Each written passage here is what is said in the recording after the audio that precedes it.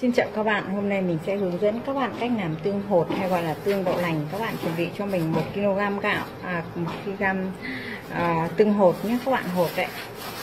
À, tức là đậu hôm nay mình nói thế nào nói nhầm quá. Thôi mong các bạn thông cảm nhé. À, đây là đậu tương. Các bạn là chuẩn bị cho mình 1 kg đậu tương nhé mình mua cái loại tương này tương này nó đắt hơn đậu tương vàng ấy. Nhưng mà khi làm tương thì tương này sẽ đậu tương này sẽ ngon hơn các bạn ạ. Các bạn à, sẽ đi vo cho mình đi để cho nó sạch cái phần bẩn nhé. Nếu có cái hạt nào nó hỏng ấy thì các bạn nhận bỏ đi cho mình. Thì à, vo này cho nó ráo cho nó sạch cho ráo nước để mình à, rang lên nhé. Các bạn đun cho mình một nồi nước sôi nhá, để cho nó nguội, để mình à, làm tương. Mình à, xả nước vào nhé để à, vo cái phần đậu tương này. Nếu có cái hạt nào nó hỏng thì các bạn sẽ loại bỏ đi cho mình.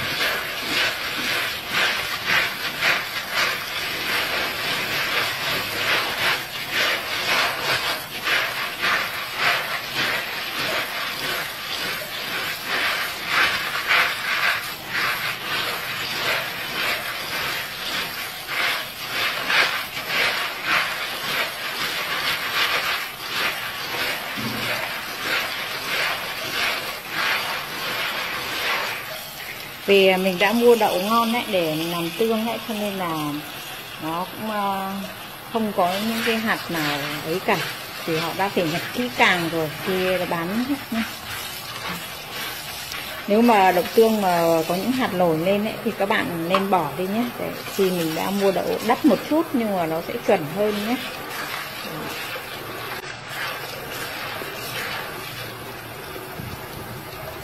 Mình nghiêng cái giá như này để cho cái phần đậu tương này nó rất nước để mình đem đi ra này.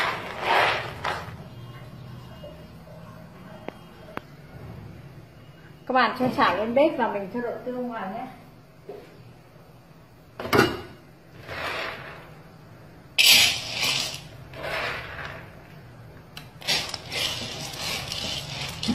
mới đầu thì mình sẽ đun với lửa to để cho cái phần đậu tương này nó khô đi, nước đi, sau đó thì mình sẽ giảm lửa dần nhé.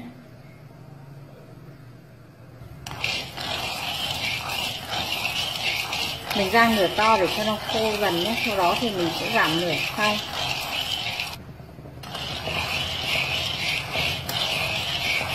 Khi nó đã như thế này rồi thì các bạn giảm bớt lửa đi nhé, để cho lửa nó nhỏ. Thì mình rang đậu tương bên ngoài nó không bị cháy và bên trong nó chín đều nhé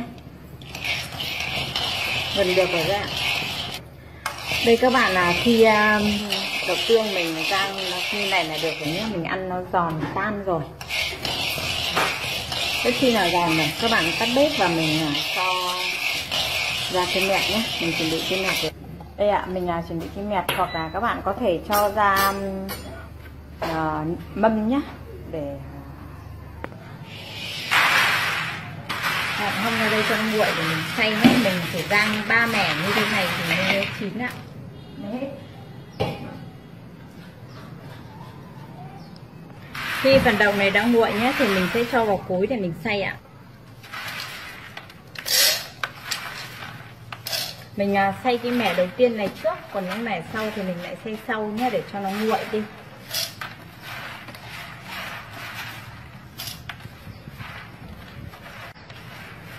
Các bạn có chỉ cần là xay à, giã giật nó ra thôi, cho cái hạt nó giật ra là được, không cần phải xay nhuyễn đâu.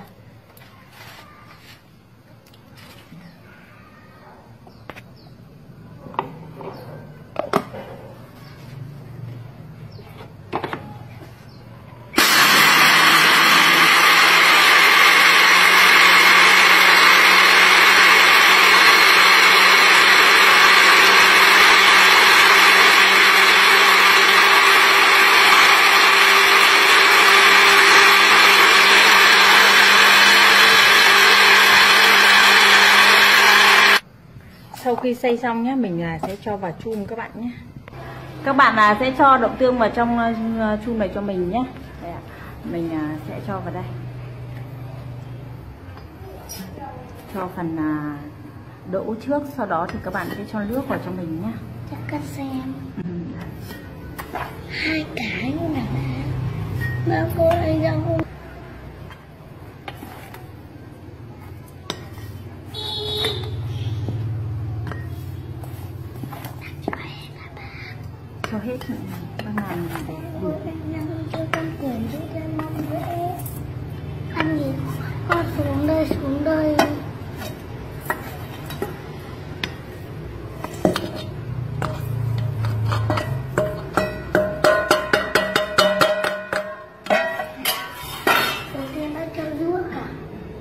rồi bác các bạn à, cho mình à, nồi nước à, sôi mình luôn để nguội nhé nếu có nước mưa thì càng tốt các bạn ạ thì chúng ta có thể uống nước mưa thì làm tương nó sẽ ngon hơn rất nhiều. Ngày xưa các cụ thường là làm tương bằng nước mưa ạ.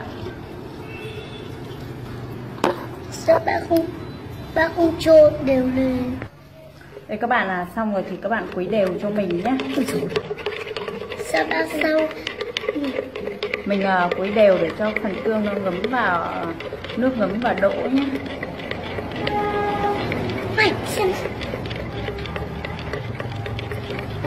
Và chúng ta mà quấy tương ấy thì các bạn nên quấy vào buổi sáng thì à, tương nó sẽ ngọt và không bị chua nhé. Và mình ngâm đậu này trong nước này khoảng 10 ngày 10 đêm thì mình mới ngả tương. Thì các bạn dùng cho mình một kg muối và nửa cân gạo nếp làm mốc nhé bây giờ mình sẽ à, phủ lên trên một cái vải để cho nó không bị các vi sinh vật nó vào với các bạn ạ các bạn phơi nắng cho mình 10 ngày 10 đêm nhé. Phơi nắng vào ban ngày ấy, và ban đêm thì các bạn mà sợ trời mưa thì chúng ta có thể đậy lại hoặc là mình cất đi nhá không cho nước mưa vào. Thì nó sẽ làm cho tương hỏng. Sáng thì chúng ta có thể à, quấy tương lên ạ mình dùng bữa mình à, quấy nêm nhé để cho khi tương của chúng ta nó sẽ ngọt và không bị chua. Nếu các bạn mà quấy vào buổi chiều nó sẽ bị chua nhé nếu là chỉ à, quấy tương vào buổi sáng thôi còn buổi chiều và buổi tối thì bạn không nên quấy nhé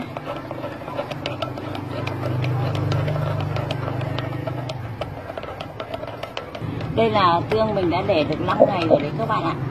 Rất chi là ngon màu tương này thì là đẹp nhé và mình chờ mốc được nữa là mình sẽ cho vào muối nữa là mình sẽ có được vào một cái tương. Khoảng thứ như thế này, cho nó đều nhé.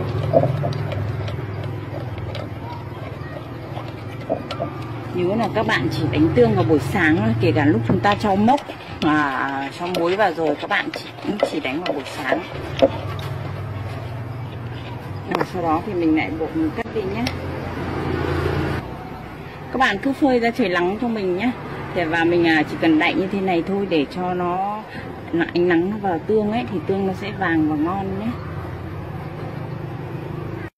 Sau khi à, mình để tương được 10 ngày 10 đêm rồi, bây giờ mình chuẩn bị mốc, thì là 500 à, g gạo nếp mình làm thành mốc đây các bạn nhé. Các bạn có thể theo dõi video của mình mình đã hướng dẫn rồi đấy ạ. Và 1 kg muối các bạn nhé. Muối hạt đấy ạ. Bây giờ mình sẽ cho vào chung tương nhé. Đây các bạn chung tương mình đã để được 10 ngày 10 đêm. Chua tương rất chi là đỏ và ngon như thế này rồi. Bây giờ mình sẽ cho muối và cho mốc vào nhé. Đây ạ, mình à, sẽ xúc muối và xúc mốc vào để mình à, hòa tan nó nhé các bạn cho hết một à, kg muối vào cho mình. Một chung tương này thì các bạn làm cho mình khoảng 5 lít nước nhé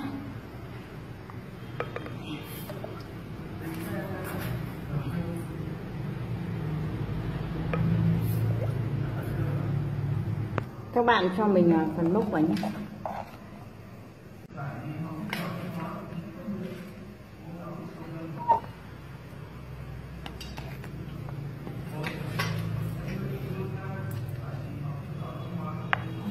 mình cho mốc vào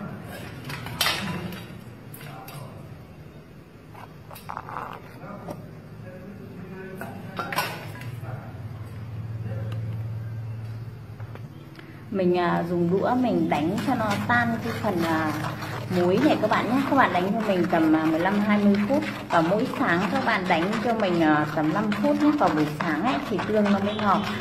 Cái gọi là các bạn sẽ quấy cho mình như thế này tầm 5 phút vào buổi sáng và buổi chiều chúng ta không nên ờ, động gì đến tương cả.